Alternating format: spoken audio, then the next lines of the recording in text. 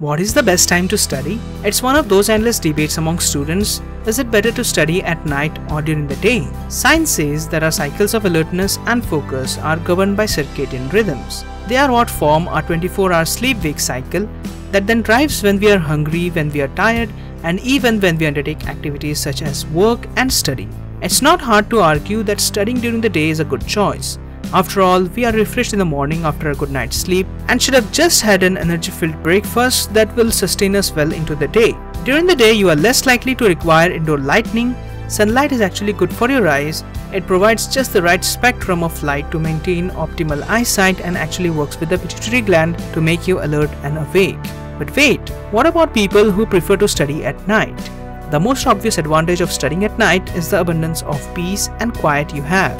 Nighttime is when people are more relaxed. The great risk with studying at night though is that you may lose track of time and end up sleeping less.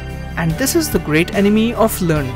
A strong routine complete with deadlines on when you stop studying and start sleeping means you aren't breaking those circadian rhythms that govern your body's patterns. So when is it best to study? It all depends on your lifestyle. Younger people with a routine that sees them more active at night will find that studying at night comes more naturally to them. If you are an adult and re-entering study after a long time away, you'll find that daytimes are far better suited as you are used to working or being active during the day. In fact, study shows that only around 2% of students over 30 find that studying at night works for them. 80% of them would rather study in the morning. The important factor for everyone is making sure you're getting enough sleep. So whether you're a morning person or a night owl, there's nothing stopping you from taking on study in your own time and at your own pace.